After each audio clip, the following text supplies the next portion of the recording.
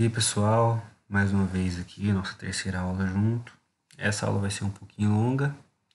Ela vai ser composta por três partes. Essas duas primeiras é, elas serão juntas, vão ser tudo nessa parte só. E a terceira vai ser num, num outro vídeo, beleza?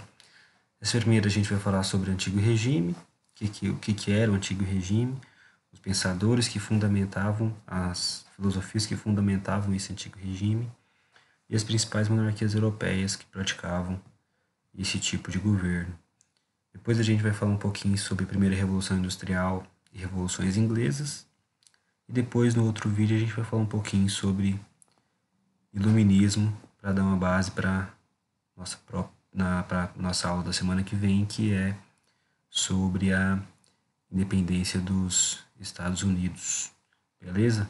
Então, Espero que vocês estejam fazendo a lista, não tenham tido muita dúvida, né? Ninguém ainda procurou com dúvida, mas espero que vocês estejam fazendo e estejam estudando isso aí agora que o Enem tem uma data confirmada, né? Vamos pegar firme para dar tudo certo, beleza? Então, vamos começar antigo regime. O que, que vocês precisam saber para começar a estudar é, antigo regime? Você tem que saber que nesse no processo de formação dos estados centralizados lá no século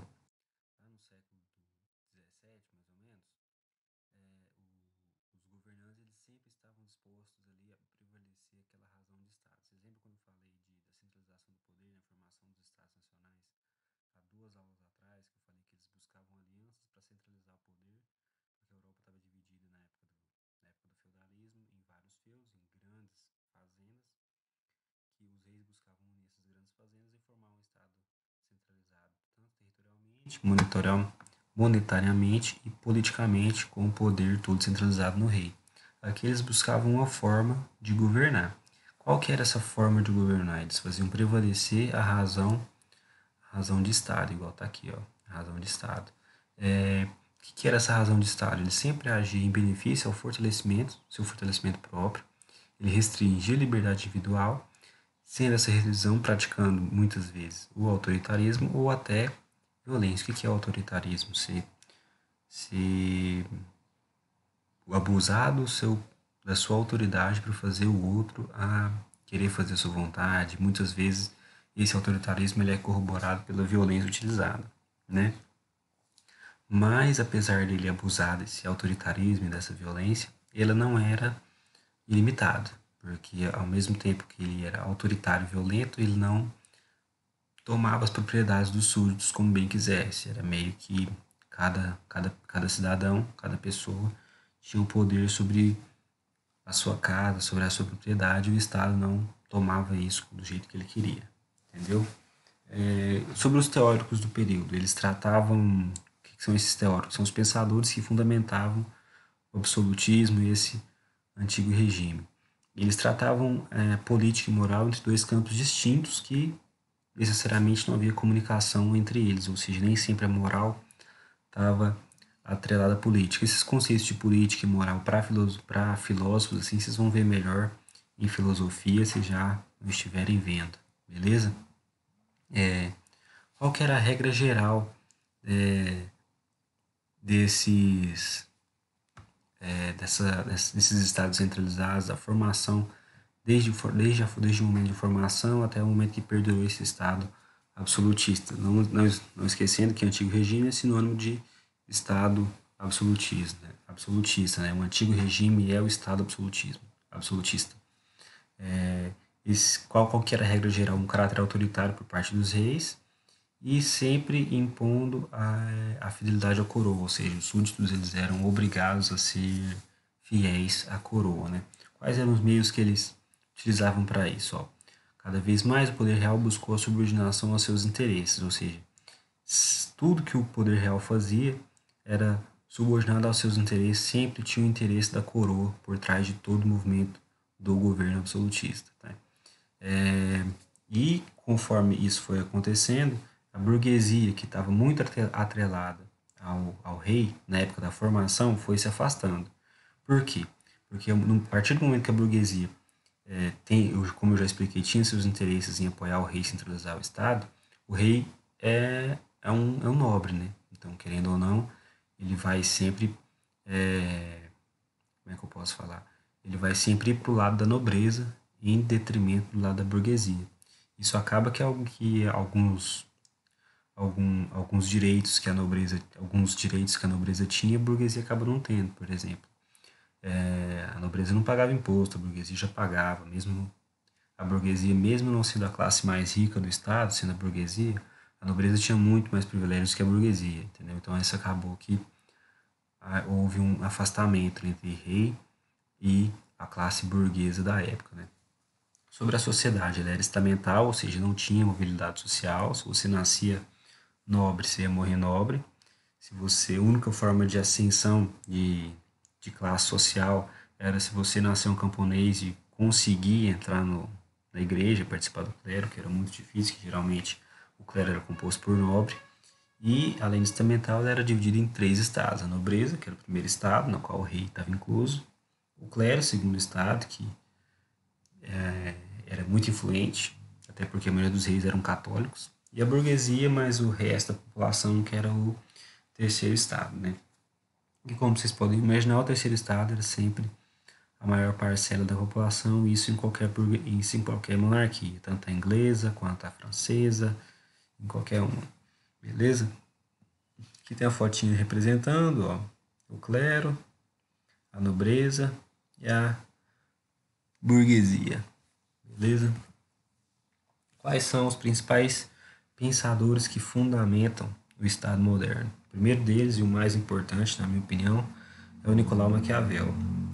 Ele nasceu em 1469 e morreu em 1527. Ele era italiano e ele fez o livro dele baseado no Estado italiano. Como é que era o Estado italiano? Era dividido em repúblicas. Então, por isso que ele defendia a unidade italiana criticava a fragmentação e a rivalidade entre as repúblicas que existiam na Itália lá na época. Qual que era a sua principal obra?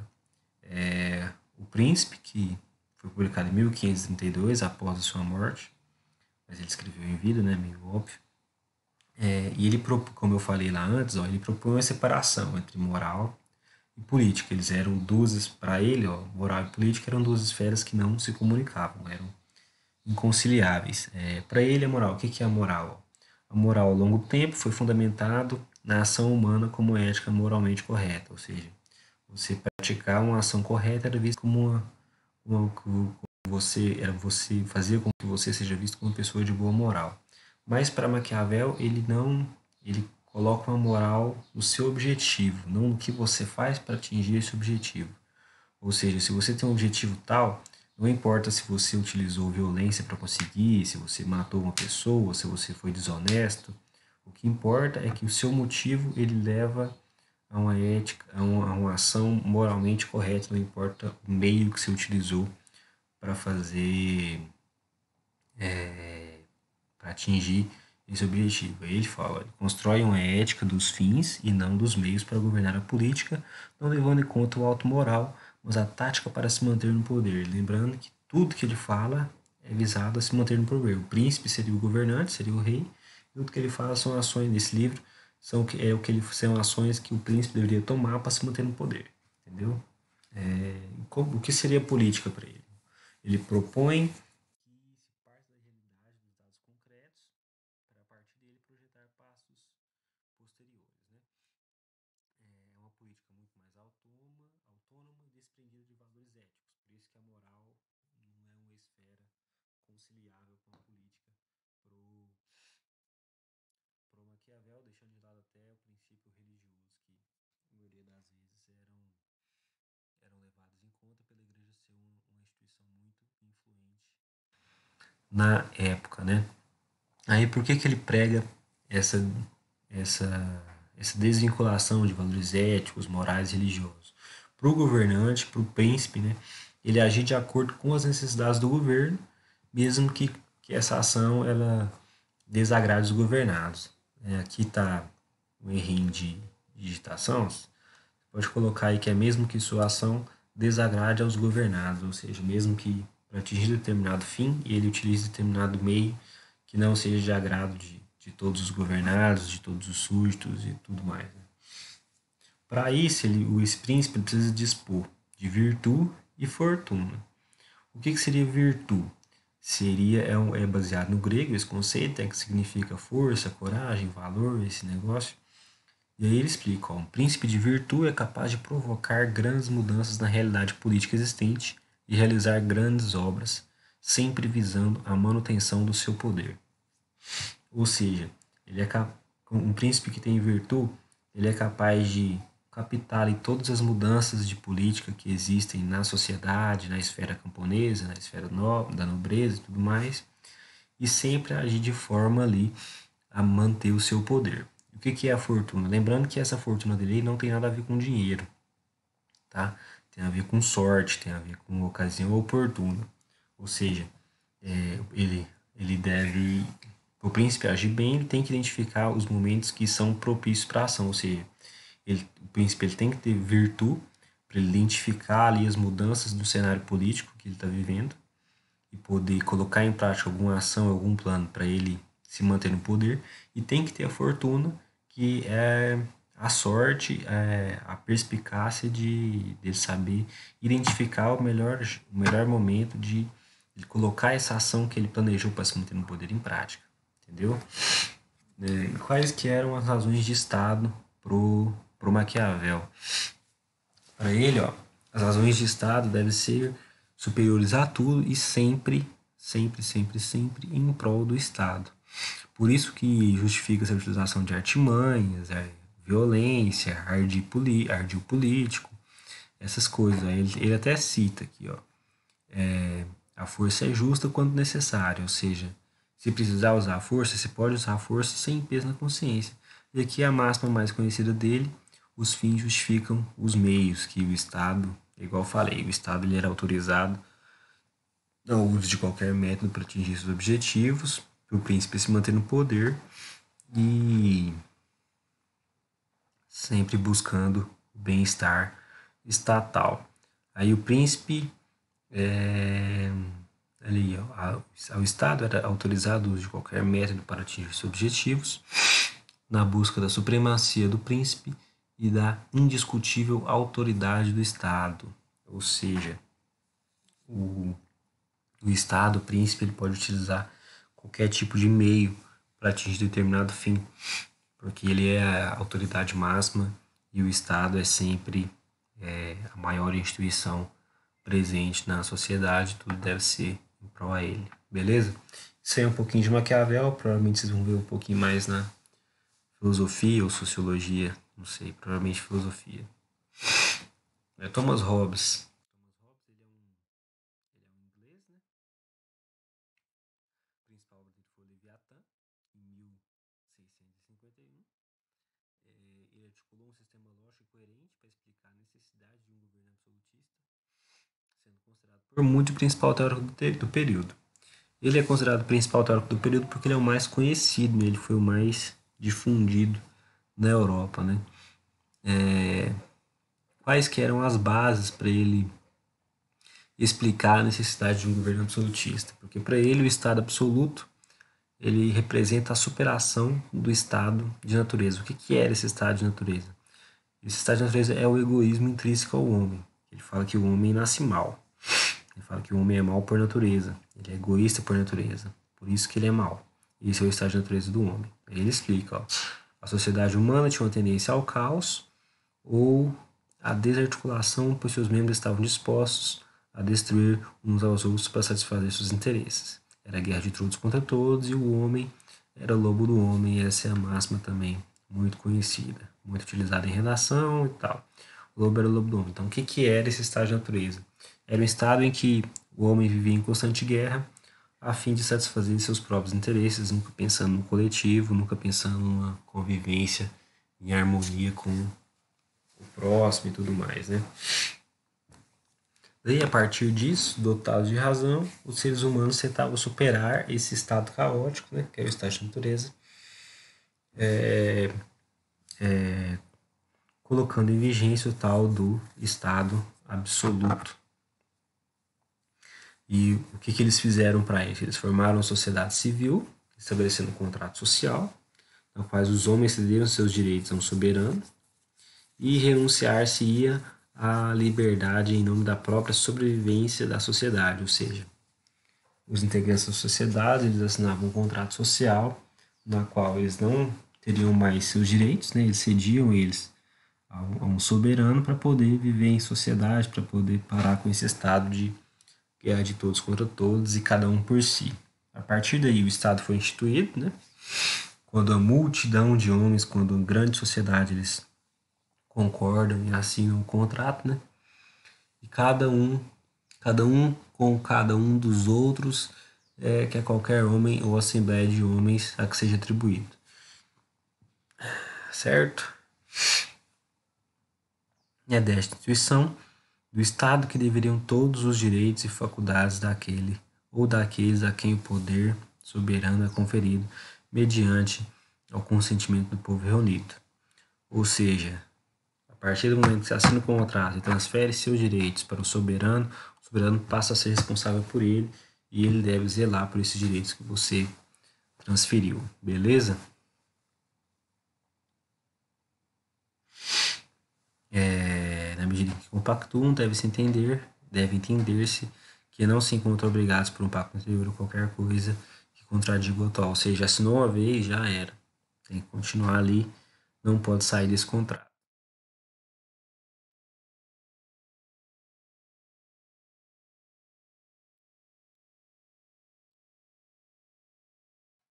Aí foi o que eu falei, ó. Os que já instituíram o Estado, dado que são obrigados pelo pacto a reconhecer com seus atos e decisões que de alguém, ou seja, a partir do momento que se assina, suas decisões vão ser tomadas pelo favorecido, pelo soberano. E não pode legitimamente celebrar um novo pacto no sentido de obedecer a outro, ou seja, se você assinou com alguém, você não pode assinar outro pacto com outro soberano. Vai ser com aquele soberano que você assinou primeiro e só.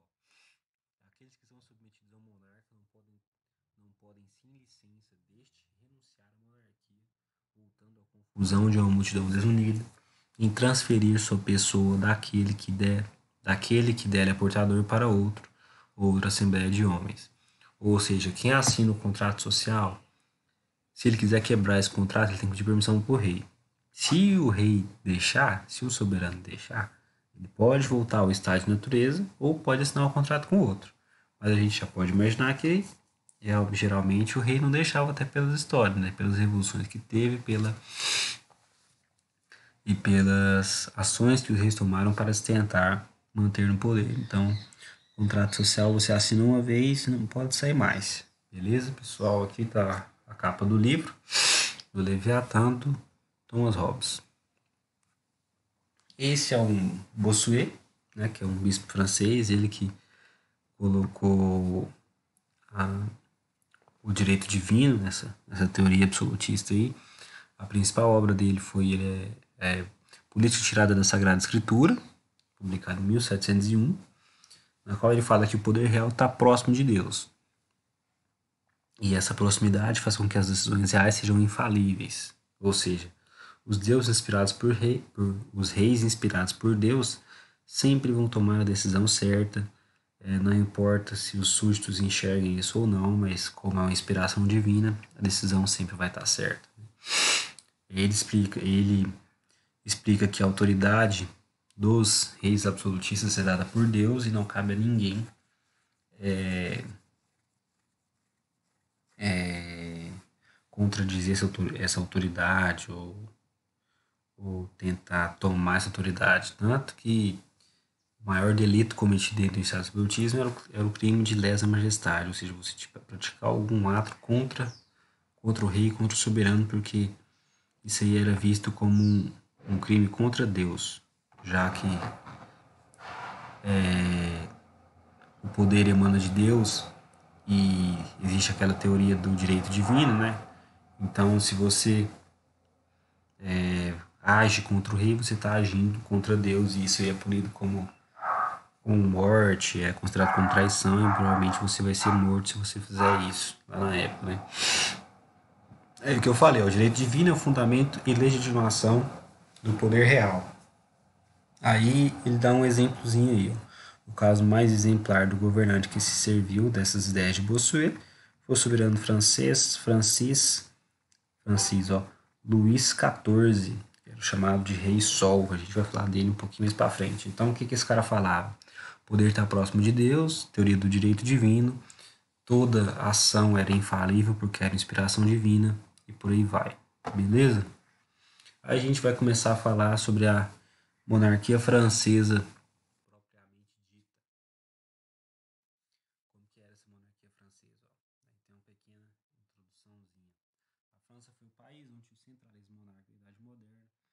desenvolveu de maneira mais marcante, né? Porque lá, depois dos capetinhos que eu falei lá na formação dos estados nacionais, lá na nossa primeira aula,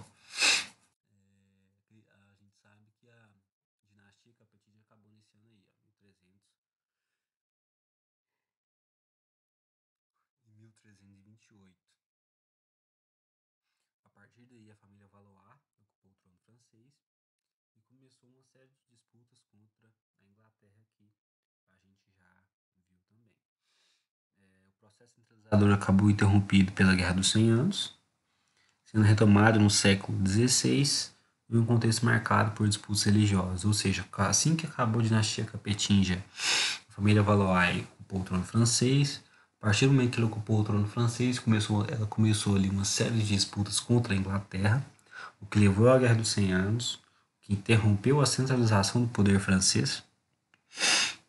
E depois que acabou essa Guerra dos Cem Anos, que a França saiu vitoriosa, França começou ali a ser marcada por diversas disputas religiosas, porque a França ela tem um históricozinho de, de intolerância, intolerância religiosa muito grande. Vamos ver que no decorrer da história a França expulsou muitos calvinistas, muitos protestantes do seu território, matou muito protestante e por aí vai. Esses conflitos religiosos eles envolviam a burguesia, porque a burguesia ele era em sua, em sua maioria calvinista, porque calvinista ele, dignita, ele dignava o trabalho, ou seja, o burguês era, era a classe que trabalhava, então a galera que trabalhava geralmente era calvinista, porque calvinista tinha aquela máxima, né, que o trabalho dignifica o homem, e o lucro não era visto como um, como um pecado, como era visto pela Igreja Católica. Certo, pessoal? É, aí ainda na monarquia francesa, no governo de Carlos IX, se intensificaram as lutas, né, envolvendo basicamente a burguesia calvinista, igual eu falei, que era chamado de Huguenote na França, né, que a maioria dos burgueses eles eram calvinistas justamente por aquela coisa de o trabalho dignifica o homem e tudo mais, né? E o ponto máximo sempre foi a noite de São Bartolomeu, em que comandados pelo rei católicos foram lá e massacraram os protestantes, não só calvinistas, mas protestantes também, protestantes luteranos e por aí vai, certo? E no governo de Henrique III, é, prosseguiram-se né, os conflitos contra os protestantes, né? apesar de que no governo do Henrique III os protestantes venceram no maioria dos conflitos, né, porque eles eram apoiados pela burguesia calvinista. Aí a família Valois caiu do trono e assumiu a dinastia dos Bourbon, lá na França. No governo de Henrique IV, ele convocou o Edito de Nantes, faltou um acentozinho aqui nesse E, é Edito de Nantes, com acento agudo no E, desculpa o erro de digitação é, e por esse, esse de Nantes, ele decretou a liberdade de culto aos protestantes. Foi a principal coisa que ele fez. Ele, mas ele fez isso só para retomar a aliança ali entre o rei e a burguesia. Beleza? No governo de Luís XIII, é, Luís XIII era mais uma figura, não governava nada.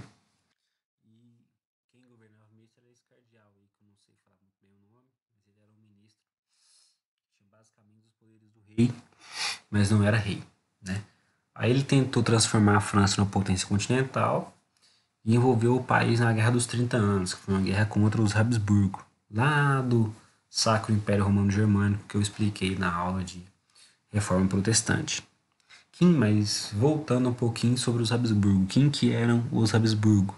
Eles eram seguidores do catolicismo romano, é, opositores dos reformistas religiosos, opositores de, de calvinistas, de luteranos e tudo mais. Eles controlavam a Áustria e a Espanha, não territorialmente, mas por ser uma família muito grande e influente, o governo da Espanha era Habsburgo, o governo da Áustria era Habsburgo, certo? Até porque entre a Espanha ali e a, a região da Alemanha, que é onde ficava o Império, tem a França no meio, né? então não tem como ser territorialmente, né? Aí, como eles eram muito fanáticos no catolicismo, eles atacavam os protestantes no Países Baixos, que quando eu falo Países Baixos, vocês têm que entender Holanda. Holanda é um dos países mais liberais do mundo, tanto na questão religiosa quanto na questão cultural, qualquer tipo de questão. Suécia e Dinamarca, que eram, na grande maioria, países calvinistas.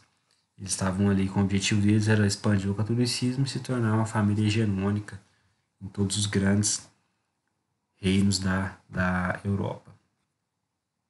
A partir do momento que a França se viu nisso aí, como a França tinha decretado uma liberdade de culto em seu território, e foi colocada, e a família que governava a França foi colocada pelos partidários protestantes com era calvinista, ela saiu em defesa desses protestantes. Daí começou a Guerra dos 30 Anos contra os Habsburgo. O que a França fez? Ganhou essa guerra e a vitória francesa ela abriu o caminho para o, o ponto mais alto ali do absolutismo francês, que o governo de Luís XIII saiu super em aula, né, super vitorioso, porque iniciou a guerra e tudo mais. E o governo de Luís XIV, que era o chamado Rei Sol, né, e ele que falou aquela frase lá: o Estado sou eu, o maior nome da representativo do absolutismo é, da história, assim, assim pode-se dizer, né, porque ele foi, quando você fala em absolutismo, ele é o primeiro cara que vem na cabeça. Ele era absolutista ao extremo, né? Ele concentrou quase 100% do poder em suas mãos. Ele nomeou um ministro, o Colbert, que lançou as bases do mercantilismo francês, tanto que em alguns livros fala que o mercantilismo francês era chamado de colbertismo, por conta desse ministro aí. Ele buscava colônias e manufaturas, né? Vieram até para o Brasil. Não sei se você sabe, mas São Luís, capital do Maranhão, foi fundado em homenagem a Luís XIV por franceses. Por isso que chama São Luís, a capital do Maranhão. É, e a partir do momento que ele buscava colônias, manufaturas, ele começava a favorecer a burguesia. No entanto, ao mesmo tempo que ele favorecia a burguesia, ele garantia privilégios à nobreza, é, é, ele garantia privilégios à nobreza dificultava atuações políticas da burguesia, porque o que ele fazia? Ele buscava colônia, aumentava a manufatura, ele expandia os negócios mercantil, mas ele não dava poder político para a burguesia, a burguesia ficava mais restrita ali ao campo econômico da sociedade e sem, deixando a parte política para a nobreza, que era cheia de privilégios e cada vez mais esses privilégios foram sendo fortalecidos pelo Luís XIV. Ele revogou o Edito de Nantes para justificar algumas perseguições de pessoas de religião contrária ao rei, ou seja, quando ele revogou porque quando ele julgasse necessário que tivesse algum grupo ali de religião contrária a ele, protestando contra ele, ele revogando o Edito de Nantes, ele tem uma prerrogativa para poder perseguir esse grupo e até mesmo prender, condenar a traição e tudo mais. No governo de Luís XV e XVI, é, o início do declínio do absolutismo francês é, e a ascensão da Inglaterra como potência europeia, Inglaterra que a gente vai falar agora é o próximo tópico. Quais foram os pontos que corroboravam para esse declínio do absolutismo francês. Os grandes gastos da coroa, né? o envolvimento do rei em várias guerras, que nem compensa citar, são guerras pequenas. É, isso tudo aí, sem falar que é, mandaram construir o Palácio de Versalhes, lá um palácio gigantesco que custou não sei quantos quanto dinheiro para os cofres, cofres governamentais. E isso foi acabando deixando o povo na miséria e tudo mais, o Estado meio quebrado.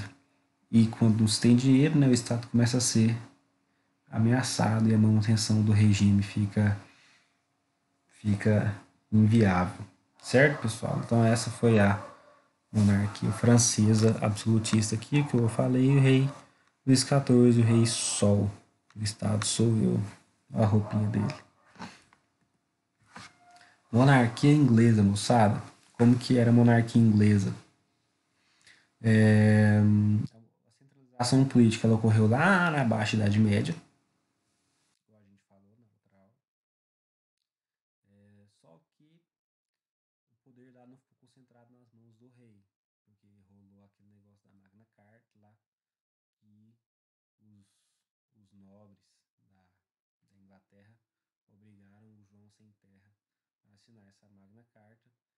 o poder real e se sub, e submetendo o poder real ao controle do parlamento, se tornando uma monarquia. São as bases ali de uma da monarquia parlamentarista inglesa.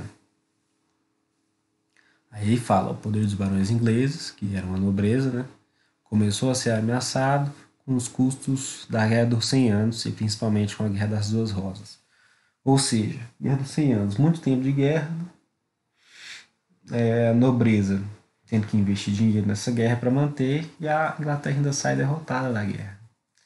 A partir daí a, guerra, a Inglaterra voltou muito frágil, tanto econômica quanto politicamente, daí surgiu essa guerra das duas rosas aí. Por que duas rosas? Porque eram duas famílias disputando o trono inglês. Família York e família Lancaster. É, o emblema das duas, das duas tinha uma rosa, uma era rosa branca e a outra uma rosa vermelha. Elas aí eram as famílias de maior influência no Estado inglês, famílias mais fortes, mais influentes, e elas estavam disputando o trono, né? A partir daí houve uma polarização da nobreza inglesa. Uma parte apoiou a York, outra parte apoiou a Lancaster, e assim vai, né? Depois de violentas batalhas, essa nobreza saiu enfraquecida, porque eles também iam à guerra, né? E no final da guerra deu-se com a ascensão de uma nova família, que foi a dos Tudor, que ele promoveu a pacificação dos York e dos Lancaster, ou seja, York e Lancaster eram duas famílias tão poderosas, tão influentes que polarizaram a nobreza inglesa e começaram a guerrear entre si. Só que houve um momento que as duas estavam muito enfraquecidas. A família dos Tudor, aproveitando a situação, fez um acordo de paz entre as duas e assumiu o trono, né? Então, Henrique VII aí já é dinastia dos Tudor, porque Tudor foi esperto, permaneceu quieto até chegar o momento certo. Quando chegou o momento certo, ela foi lá, derrotou as duas famílias e assumiu o poder, certinho? Daí, ó, o Estado centralizado inglês ganhou forma com Henrique VIII, da família Tudor. Esse foi o cara que eu falei na aula de reforma religiosa, né? Ele que instituiu o anglicanismo na Inglaterra. Ele colocou esse ato de supremacia aí, ó, que ele tornava oficial uma nova doutrina religiosa, igual eu falei, que é o anglicanismo e tal. É, depois que ele instituiu esse ato de supremacia, houve um curto e violento intervalo, né, em que o catolicismo foi temporariamente restaurado no governo de Maria I, que era filha dele. E, e o anglicanismo voltou a ser oficializado no governo de Elizabeth I, logo após a morte de Maria I. Certinho? É, no governo de Elizabeth I, hum, é, o governo dela foi muito bom, né? Era um monarca de mão de ferro, né? monarca bem absolutista mesmo. É, ela colocou em prática a política mercantilista agressiva. Ele construiu uma poderosa frota, na, frota naval para exploração de colônias na América. É, na época, principal, a potência da época era a Espanha, né, que tinha lá a invencível armada, ninguém ganhava da armada espanhola no mar e tal, até que a Elizabeth I foi lá, deu um pau nos espanhol e passou a controlar é, essa parte de rota marítima aí para as colônias e rota marítima comercial, destacando a Inglaterra aí como a potência mundial da época, certo? É aí que eu falei de invencível armada, ó. A partir do momento que a Espanha percebeu que a Inglaterra estava construindo uma frota, que estava começando a invadir colônia, que estava começando a saquear navio, Felipe II foi lá, fez a maior marinha da época, que era Invencível Armada, que foi lutar contra os ingleses, mas infelizmente eles não deram conta dos ingleses. Acabaram derrotados e a Inglaterra acabou se disputando ali como a maior potência militar da época. É, a partir dele, Elizabeth I faleceu, não deixou herdeiro, e foi sucedida por Jaime I, deu início à dinastia Stuart na Inglaterra. Certinho? Até aí tudo bem? Qualquer dúvida, vocês mandam lá no grupinho do WhatsApp, ou pode me mandar no privado também, ou até no e-mail, certo?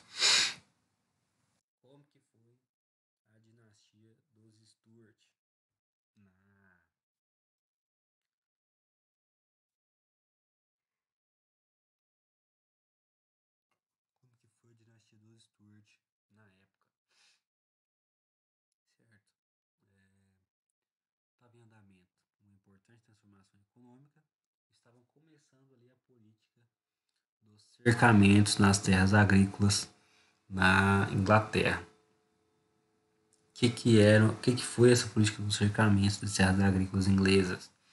Antigas propriedades autossuficientes que produziram itens, itens variados passaram-se a especializar na produção de um único produto voltado para a comercialização no mercado. Ou seja, antes as propriedades produziam vários produtos, agora produzem um e são especializadas em produzir um somente um, aquele que elas produzem normalmente. Certinho?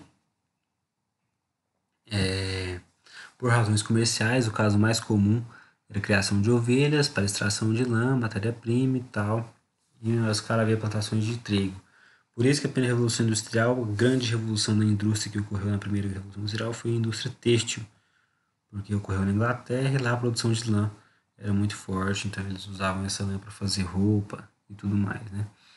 As terras comunais, que eram usadas pela população rural, passavam a ser exploradas em benefício de um proprietário único, que era um nobre, empregando reduzida mão de obra nas terras tomadas e cercadas, ou seja, eles tomavam as, tomavam as terras da galera que vivia lá, e essa galera que vivia lá começava a trabalhar para esse proprietário que tomou a terra dele, certinho? Aí fala, na Inglaterra, graças à concentração de riquezas decorrente do processo dos cercamentos, grande parte da, aristocracia se aburguesou, sobrepondo-se ao rei. Ou seja, grande parte da nobreza se tornou burguesa, porque viu que era economicamente viável. qual foi o motivo dessa sobreposição ser bem sucedida? Primeiro, bases legais frágeis, do centralismo político inglês por conta da Magna Carta, que a Magna Carta não deixava o poder real, o rei não fazer nada sem autorização do parlamento. Então, o rei era submetido ao parlamento, não adiantava, porque a Magna Carta estava assinada. E os Stuart, enfrentando poderes estabelecidos, desejavam reverter a situação e aumentar o poder do rei. O que, que eles tentaram fazer? Eles passou a acentuar os aspectos católicos do anglicanismo para tentar promover ali uma disputa entre anglicanos e católicos. É, parte dos burgueses passou a defender a característica calvinista da doutrina anglicana, que começou a questionar o poder do rei, fortalecendo o grupo dos puritanos. Ou seja, o que eles fizeram para tentar se fortalecer o poder do rei? Eles acentuaram aspectos católicos para haver uma disputa entre católicos e anglicanos, e os burgueses acentuaram os aspectos calvinistas, para começar ali uma, um questionamento ao poder do rei e um fortalecimento dos grupos puritanos. No governo de Carlos I, é, os desentendimentos contra a religião acentuaram-se, ocasionando uma guerra civil na Inglaterra, ou seja, já em primeiro lá conseguiu fazer que houve uma disputa religiosa na Inglaterra, né? Essa disputa ela foi colocada entre os cavaleiros, que eram os partidários do rei, e os cabeças redondas, que eram os partidários do parlamento, que era o foco da relação puritana contra a monarquia absolutista, né? A essas as cabeças comuns foram lideradas por Oliver Cromwell, é foi um cara importante na história da Inglaterra. Ele era membro da Câmara dos Comuns. O que, que era essa Câmara dos Comuns? Era uma Câmara Parlamentar do sistema bicameral surgido no século XIV, é chamada de Câmara Baixa. A primeira Câmara ou, ou Câmara Alta é a Câmara dos Lords. Ou seja, o Cromwell liderando as cabeças redondas, é, liderando as tropas do parlamento, do parlamento, obtiveram diversas vitórias sobre os cavaleiros, que eram partidários do rei. A partir daí, o rei foi derrotado e condenado à morte. Cromwell alcançou o poder e proclamou a República Inglesa. É, só que a partir desse momento ele passou a ter poderes ditatoriais garantidos pelo exército. Certo? O que, que ele fez? Ele invadiu o parlamento, dispensou os membros que se opunham ao seu a sua centralização. Recebeu o título de vitalício de Lord Protetor da Inglaterra, Irlanda e Escócia. Lembrando que quando você for falar Inglaterra, significa toda a ilha de da Grã-Bretanha, certo? Ele decretou os atos de navegação. O que, que eram esses atos? Eles protegiam os comerciantes ingleses e estimulavam a construção naval, visando enfrentar a poderosa concorrência holandesa, porque os holandeses também eram bem fortes no comércio marítimo, certinho? Depois que o Cromwell morreu em 1658,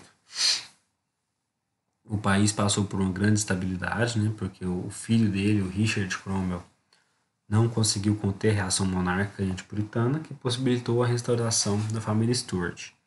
Daí houve ali a Revolução Gloriosa, que o rei Stuart, Jaime, o rei da dinastia Stuart, Jaime II foi afastado, e a burguesia instalou um novo monarca, origem e casado com a filha mais velha de Jaime II. Durante, como esse, é, Guilherme de Orange foi coroado como Guilherme III, ele assumiu o trono após concordar em assinar a Declaração dos Direitos, que é a tal da Bill of Rights lá, que vocês já devem ter ouvido falar. Ele abdicou praticamente de tudo, de poder real, é, para para manter sua família no poder e se submeter ao parlamento. Aí foi onde começou o parlamentarismo inglês mesmo. A partir que o Guilherme assinou essa Bill of Rights, e ele, ele, ele abdicou de todos os seus poderes, mantendo só o título, transferindo tudo pro parlamento. Certinho? Aí fala o que a Bill of Rights garantiu: os fundamentos da monarquia constitucional, é, autonomia do judiciário, liberdade de imprensa, propriedade particular, nova, nova taxação devia ser aprovada pelo parlamento e o ato de tolerância religiosa a todos os protestantes. Né? Essa revolução gloriosa na Inglaterra e ela se equivale à revolução francesa para o restante da Europa, porque a revolução francesa ela teve um pouquinho mais de nome, teve um pouquinho mais de mudança, né? É, e nos outros estados europeus a ordem absolutista ela firmou segundo especificidades regionais, como lá na Prússia, na Áustria na Rússia e por aí vai. Aqui um caso em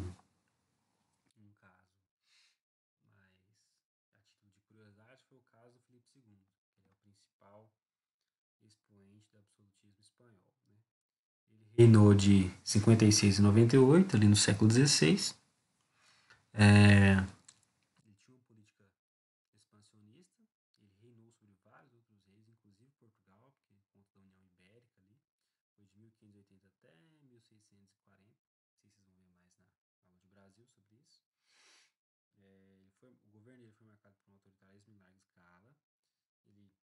uma intolerância religiosa contra os protestantes, podem sejam eles luteranos, calvinistas, anglicanos, tanto dentro como fora da Espanha, né? É, sua intolerância, ele, como ele era um cara tão intolerante, ele chegou a expulsar os judeus e muçulmanos da Espanha também.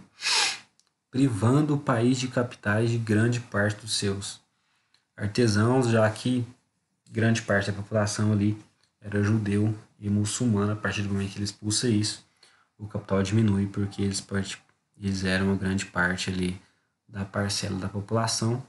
Isso aí só a título de curiosidade mesmo. Ele procurava controlar ideologicamente o reino, censurando publicações e tudo mais.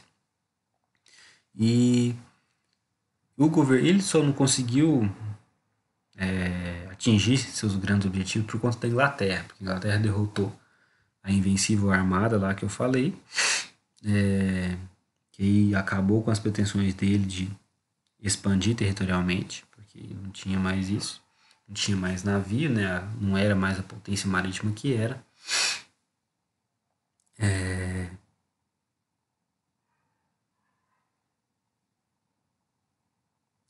Aí ele não conseguiu mais anexar o território inglês, porque ele tinha se casado com Maria I, mas depois dessa derrota ele largou ela e sumiu. Beleza, pessoal? Agora vamos para a segunda parte da aula.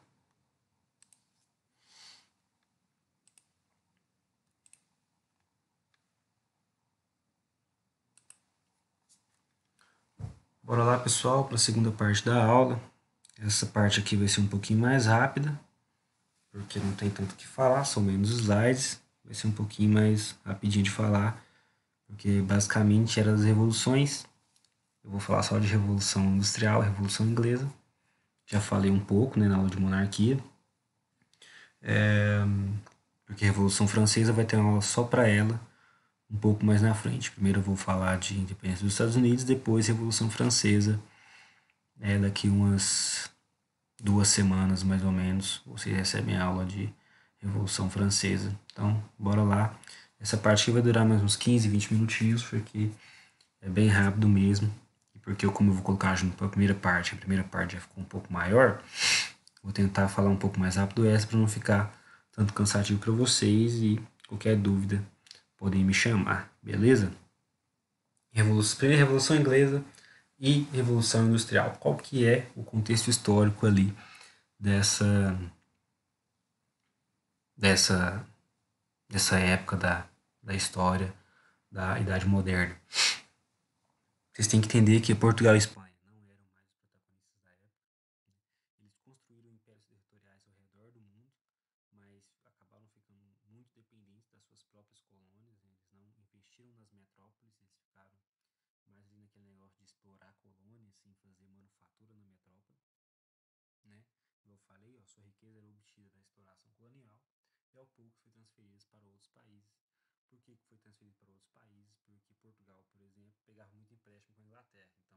o ouro do Brasil, que saía do Brasil e chegava para Portugal, parava na Inglaterra como pagamento de dívidas. Certinho aí fala, pagamento de grande volume de importações necessárias para atender as suas necessidades, uma vez tinham poucas manufaturas, ou seja, não produzia nada, tinha que comprar tudo. Então, tudo que era vindo da colônia para a metrópole era transferido para a potência, que no caso era a Inglaterra. Certo? É... Aí daí Portugal e Espanha perdeu seu poder econômico, assim como a supremacia que tinha no campo militar e no campo político na Europa. Processo de desenvolvimento capitalista. O que, que foi isso? Ele foi intensificado pela dinamização comercial dos séculos XVI e XVII, com o auge ali da exploração colonial e tudo mais. Estava é, ligado ao modo de circulação de mercadorias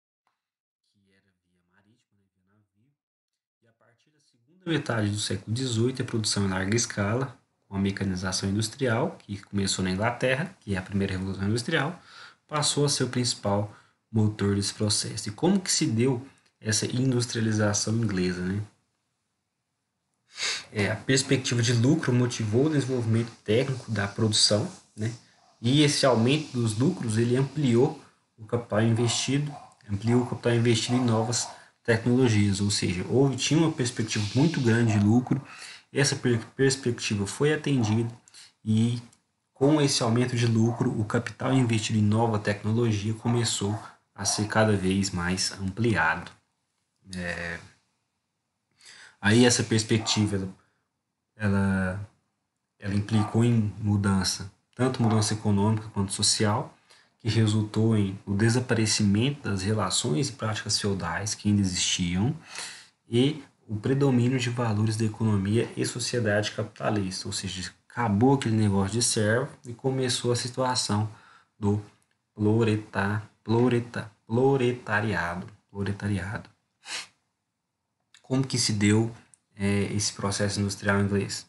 Primeiro, o acúmulo de capital entre os séculos 17 e 18, que eu falei lá, que como ele era um como a Inglaterra estava um país é, industrializado, produzia muita coisa. E as, e as e a, os principais países que exploravam colônias na época não eram industrializados, eles dependiam muito da colônia. Então tinha que comprar tudo de fora. Então tudo de riqueza que chegava da colônia era enviado para a Inglaterra como pagamento de dívida. Aí fala, esse acúmulo possibilitou a construção de um poderio naval comercial e comercial e por consequência conseguiu formar uma extensa rede comercial, fazendo da Inglaterra ali o principal transportador de mercadoria da época. Né? Qual foi o impulso? Vitória da Invencível Armada que eu acabei de falar na primeira parte da aula. Invencível Armada que foi o Felipe II da Espanha que tentou ali impedir esse avanço da Inglaterra no comércio marítimo. Atos de navegação, que foi o Cromwell que colocou isso, também já falei lá na primeira parte da aula.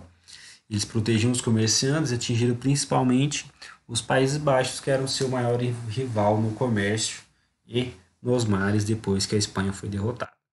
Tratado de em 1703. O que, que foi esse, esse tratado? Foi assinado com Portugal e abriu os mercados portugueses às suas colônias e aos manufaturados. Foi o que eu falei. Portugal não produzia nada, dependia da colônia e precisava da Inglaterra para as coisas que é, eles não produziam, tipo roupa, material, coisa manufaturada, coisa industrializada, tinha que comprar tudo, certo? É, qual outro fator que corroborou para esse processo de industrialização inglesa? O solo inglês era muito rico em carvão mineral, minério de ferro, então isso também possibilitou muito. E houve uma grande população desempregada, ou seja, mão de obra barata. Então, mão de obra barata tratado com um país que não produzia nada, que possibilitava dinheiro e grande disponibilidade de combustível, caso minério de ferro e carvão mineral, certinho? No âmbito internacional, como que se deu isso aí? O principal concorrente era a França, né?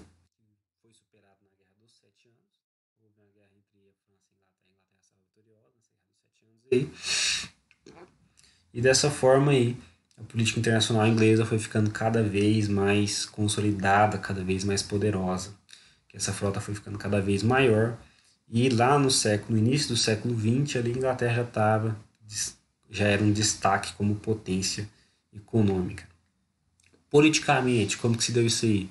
Ela superou o absolutismo após a Revolução Gloriosa, que eu acabei de falar na primeira aula, certo?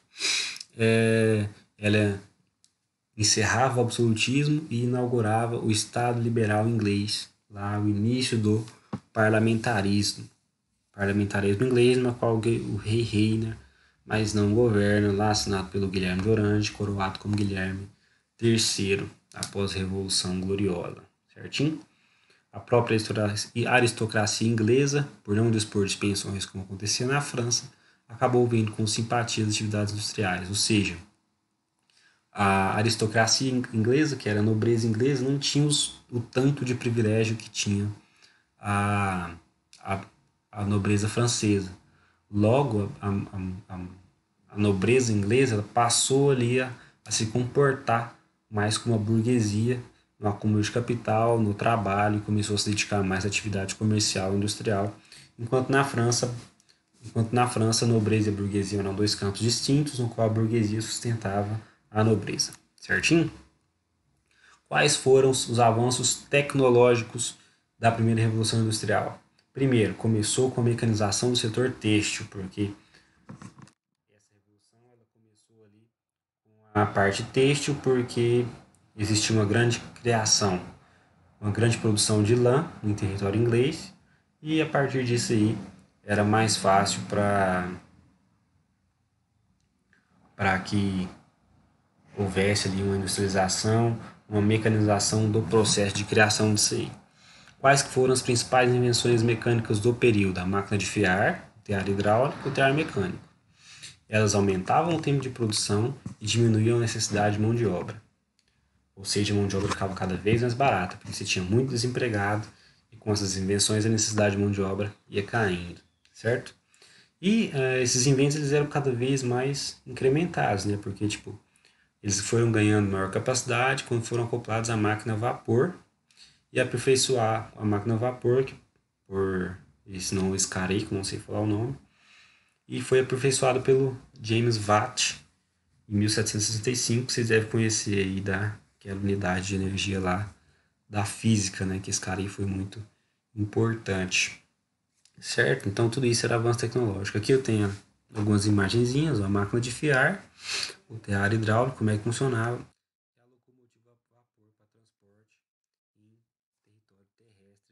e a locomotiva. Beleza?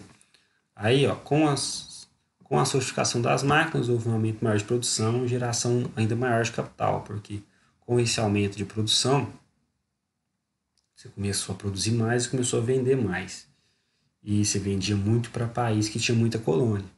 E colônia, igual no caso de Portugal, igual no caso do Brasil, produzia muita riqueza. Então, essa, portuguesa, essa riqueza que saía do Brasil passava em Portugal e parava na Inglaterra como pagamento de dívida. Portugal, porque Portugal é, importava muita coisa da Inglaterra porque não produzia nada. Certo? Aí eu falo, a mecanização alcançou o setor metalúrgico e impulsionou a produção em série. Então, cada vez aumentando a produção ali. Aí descobriram o uso do vapor como força motriz, também beneficiou os transportes, que é o caso da locomotiva a vapor, como eu mostrei a imagem para vocês. Ó. Aí ele revolucionou a navegação em 1805. É, foi criado o barco a vapor. Em 14, a locomotiva a vapor que esse cara foi só idealizador, né? Quem criou foi outro rapaz, que eu mostrei ali. E em 1830 começou a circular os primeiros trens lá na, lá na Inglaterra, né? É, com o uso do vapor também a impressão de jornais, revistas e livros foi desenvolvida e a, as comunicações favoreceu a difusão cultural, difusão de livros e tudo mais, certo?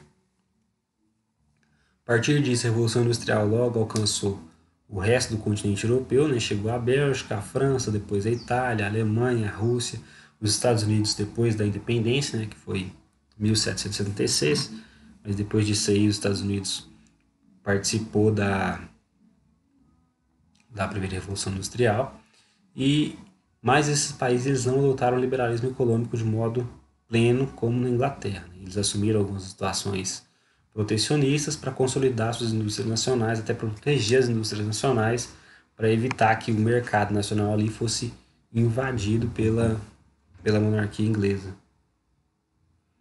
É... A expansão industrial ela estimulou o imperialismo no século XIX. Foi uma grande corrida colonial por novos mercados, porque a partir do momento que você tem ali a inclusão do restante da Europa na primeira revolução, na primeira revolução industrial, você tem que procurar novos mercados, porque cada país passa a produzir o que precisa, então você tem que defender, você tem que vender mais coisa, né? Aí, indispensáveis para garantir a produção, é, que a produção fosse vendida e realimentar seus lucros e reinvestimentos, contínuo crescimento de capital e características. Aí, a partir disso, esses países começou a alimentar é, desejo de independência de colônia, começou a partir para a África ali, tudo mais essas histórias aí que vocês vão ver mais para frente na idade contemporânea aí, certo? É, para aumentar o lucro, ele levou a especialização do trabalho, ou seja, cada trabalhador, cada trabalhador, trabalhador era responsável por uma parte do serviço produtivo, ele não acompanhava mais o processo inteiro da produção da mercadoria. E esse trabalhador foi alienado em relação à sua atividade, ou seja, se o trabalhador ele ficar ele é responsável por apertar porca, ia ficar apertando a porca o resto da vida e não ia participar de mais nenhum processo, ia só apertar a porca. Certo? Aí, ó.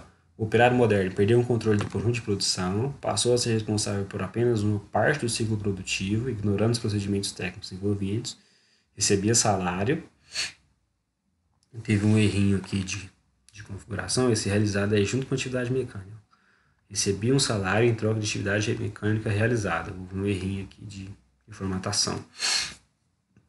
E o operário ele alienava o seu trabalho aos capitalistas, transformando em mercadoria sujeita ao mercado, ou seja, o poder de trabalho do trabalhador ele era uma mercadoria que era paga pelo salário que ele recebia. Certinho? Quais eram as novas formas de trabalho que surgiram com a primeira revolução industrial?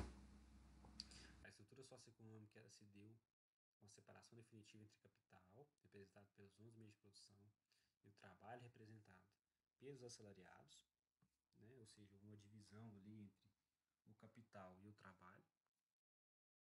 Os trabalhadores já não eram donos das ferramentas, como ocorria na Idade Moderna e na Idade Média, que eles tinham as ferramentas e participavam de todo o processo, agora não, a ferramenta pertencia ao dono do capital, ele só participava de uma etapa do processo, né? E passou a vender a sua força de trabalho, não a sua mercadoria. É, sua força de trabalho era ele era explorado ao máximo, além de ser visto como mercadoria, né? É, e eles começaram a se organizar ali em sindicatos. Né? Essa industrialização ela estabeleceu a supremacia burguesa na ordem econômica, ou seja, finalmente os burgueses passaram a ser é, a classe economicamente mais forte dentro do Estado. Nessa época aí já é Estado contemporâneo, porque já é século XVIII. Pessoal? A estrutura era voltada para atender os interesses de lucro da burguesia. A partir desse momento, então, o êxodo rural já estava acontecendo desde os cercamentos da Inglaterra foi intensificado, né, porque precisava de cada vez mais mão de obra nas cidades. Né, e na época na qual a política, a ideologia e a cultura gravitavam entre dois polos, burguesia industrial e proletariado. Aí já começou aquela guerra eterna que rola até hoje entre a burguesia e o proletariado, ou seja, quem contrata o trabalho quem faz o trabalho. É, dessa forma, estavam fixadas as bases do processo tecnológico e científico, visando a intenção e o aperfeiçoamento constante de novos produtos e técnicas para o maior e melhor desempenho industrial. Definiu-se também as condições para o imperialismo colonialista e o confronto entre burguesia e proletariado. Isso aí, acabei de falar. Aí já tem aí, ó, atividade artesanal medieval na indústria, aí já como que se dava a produção industrial na Inglaterra, né? Esse, não, na verdade esse não é Inglaterra, esse é nos Estados Unidos em 1881. Então é isso, pessoal, de, de evolução de primeira revolução industrial, basicamente isso. Falei que ia jogar um pouquinho mais rápido para não ficar tão cansativo. Vou disponibilizar os slides das duas aulas e da e da e as duas listas, né? Qualquer dúvida vocês mandam mensagem e assistam essa aula e par, essas duas partes depois a parte 3, que eu também vou disponibilizar. E é isso. Falou. É nóis, molecada. Qualquer dúvida, pode chamar.